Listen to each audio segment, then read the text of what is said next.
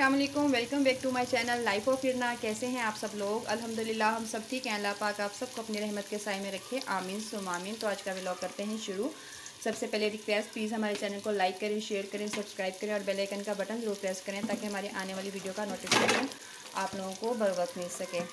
तो आज मैं आपके साथ अपनी दोपहर की रूटीन शेयर कर रही हूँ और मैं बना रही हूँ खाना। खाने में बना रही हूँ मैं चिकन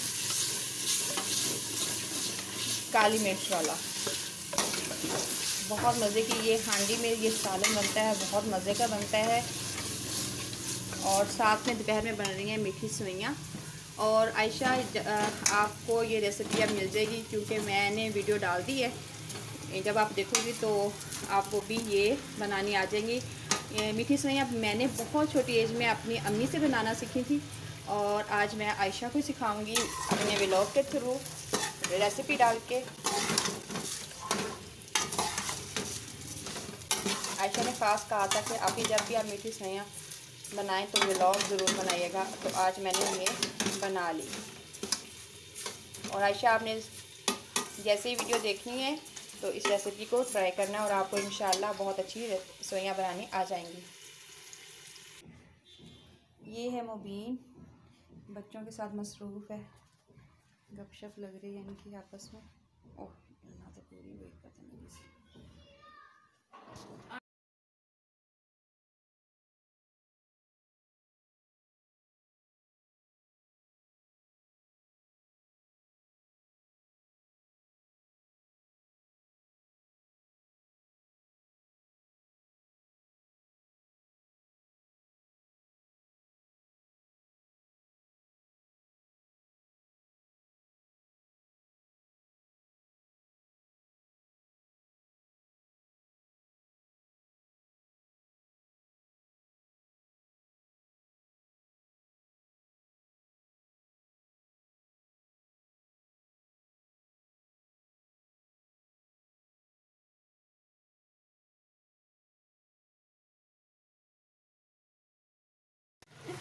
मैं भूल गई हूँ, वो जो मैंने पानी डाला है, वो मैंने दिखाया ही नहीं कि कितना पानी डाला और आयशा क्या बनाएगी बेचारी।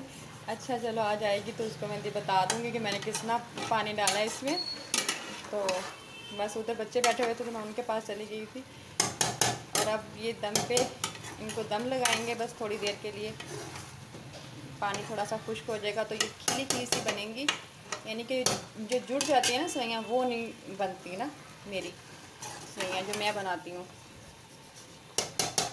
पानी का थोड़ा सा उसका हिसाब ख़राब हो जाता है कि वो ज़्यादा डाल देती है या कम डाल देती है तो सख्त रह जाती हैं या ज़्यादा डाल देती है तो वो जुड़ जाती हैं।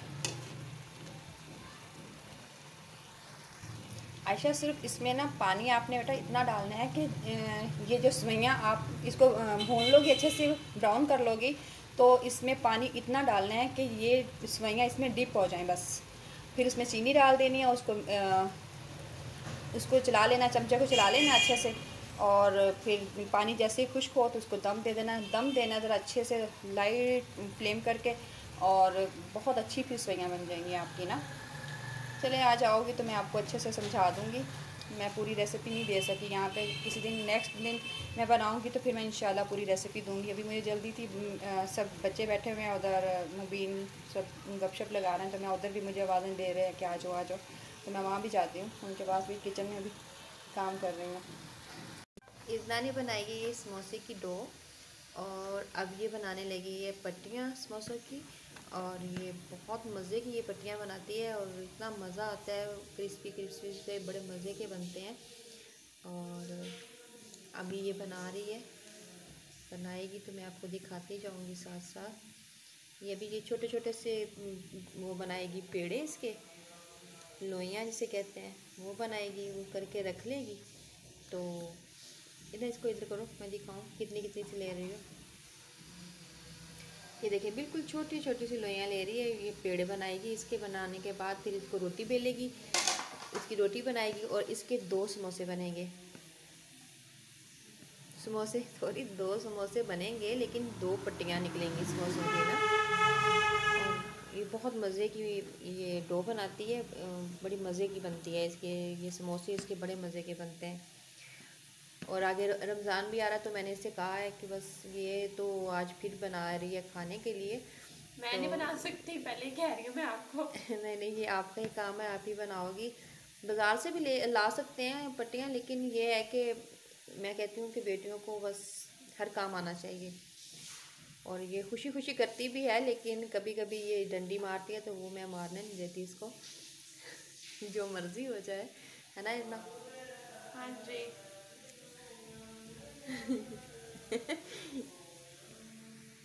ये वॉशरूम में जो है ना, ये जो सिंगर है हमारा, ये वॉशरूम में जाके ज़रा सिंगिंग करता है ना आते हुए। ये रहमान साहब हैं जो वॉशरूम में सिंगिंग कर रहे हैं। चले इतना आप बना लो, फिर जब समोसे, इसकी फीलिंग करोगी ना, फिर दिखाएँगे हम लोग। यहाँ पे जी हम लोग जा रहे थे बाज़ार हकी सेंटर, भावलपुर का। अगर जो भावलपुर रहने वाले हैं, उनको तो पता होगा। तो यहाँ पे हम लोगों ने शॉपिंग करनी थी। डॉक्टर के पास से हम लोगों ने टाइम ले लिया और वहाँ आ गए थे। लाइम लाइट पे कुछ शॉपिंग करनी थी सिस्टर को और ये जी आगे आगे मुबीन और ये जो है जोहान और छोटी इनकी, जोहान को उठाने वाली बच्ची। ये इधर आए थे हम लोग और इसकी खाला ने इसको लेके दी थी इरना और अदीना को शर्ट्स तो वो कह रही थी कि, मामा, ये कलर हमारे पास पहले हैं तो हमें और ला देना। तो फिर वो हम, मैंने चेंज करवाने के लिए गई साथ तो उसने भी थोड़ी सी शॉपिंग करनी थी अपनी तो वो की हम लोगों ने। और बहुत अच्छी वैरायटी थी, बहुत अच्छा यानी कि ये वाली शर्ट ली है एक मैंने, और यहाँ पे चेंज करवाई, जो पहले वाली थी वो दी और बाकी दो जो ली थी न्यू वाली, वो भी मैं किसी नेक्स्ट ब्लॉग में आपको दिखाऊँगी। बहुत अच्छी वैरायटी थी वॉयलेट बहुत प्यारे थे स्टिच सूट भी बहुत खूबसूरत थे और जूते मुझे बहुत पसंद आए थे यानी कि बहुत प्यारे लग रहे थे, चप्पल ख़ास तौर पे। चप्पल मुझे बहुत पसंद आ रही थी। और बच्चों के, छोटे बच्चों के बहुत प्यारे सूट थे, जो स्टिच थे।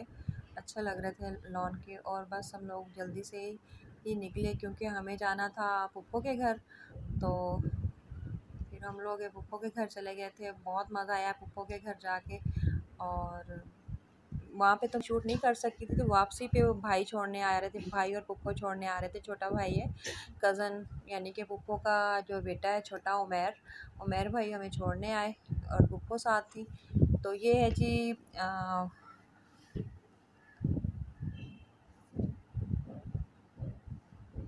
ये है सराइकी चौक। सराइकी चौक से हम लोग दिखा रही हूँ आप लोगों को और लॉकडाउन की वजह से शॉप्स काफ़ी बंद हैं। क्योंकि नौ बजे का टाइम था जब हम लोग वापस हमें छोड़ने आ रहे थे, कह रहे थे, बैठ जाए, बैठ जाओ कुछ छोड़ा के आएँगे, कुछ छोड़ के आएँगे।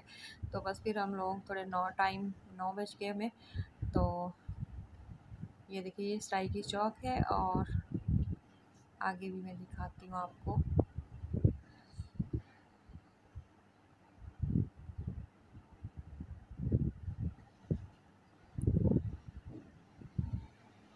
और ये है ट्रेड सेंटर। बिल्कुल बंद था, बिल्कुल बंद था। लाइट्स और सारी शॉप सारी बंद थी। लाइट्स भी ऑफ़ हुई पड़ी थी काफ़ी। और ये देखिए।